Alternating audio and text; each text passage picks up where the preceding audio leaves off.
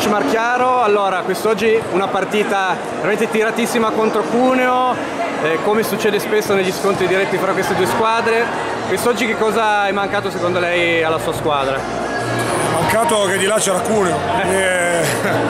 no, sono contento perché ci tenevamo a fare una bella partita, no, siamo la prima squadra che gli strappa un set e per poco ne strappavamo due.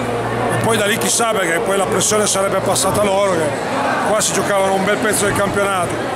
Però devo fare i complimenti a loro e soprattutto alla mia squadra perché era, bella, era importante oggi tenere questo livello, una squadra che ha mezzo piede in Serie 1, dico mezzo che non gli voglio portare fortuna, è ancora lunga però comunque sono lì, quindi eh, niente, sono soddisfatto, sono mancati dei piccoli dettagli,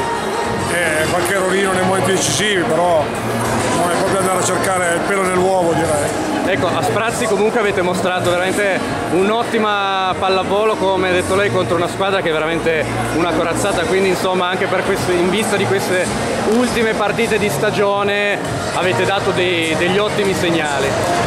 Sì, siamo siamo in linea col giorno d'andata, quindi vuol dire che siamo migliorati, perché sono migliorati tutti, quindi in questo campionato eh, se abbiamo fatto lo stesso vuol dire che siamo cresciuti e lo dimostra questa partita, è incredibile che sì, oggi abbiamo raccolto tanto come esperienza e ce lo portiamo ancora nelle ultime tre partite intanto e poi chissà. Ecco, a proposito di queste ultime tre partite, che finale di, di campionato sarà per Collegno? eh, sarà durissimo.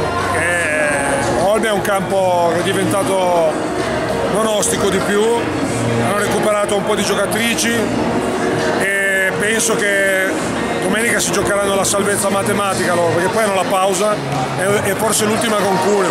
Quindi per Olbia sarà l'ultima possibilità. Quindi il gioco della pressione farà tanto, noi stiamo giocando sereni, siamo tranquilli, quindi sono molto fiducioso. Poi abbiamo un derby e poi un'altra trasferta durissima a Marsala, quindi è un finale veramente ostico, così sono tranquilli.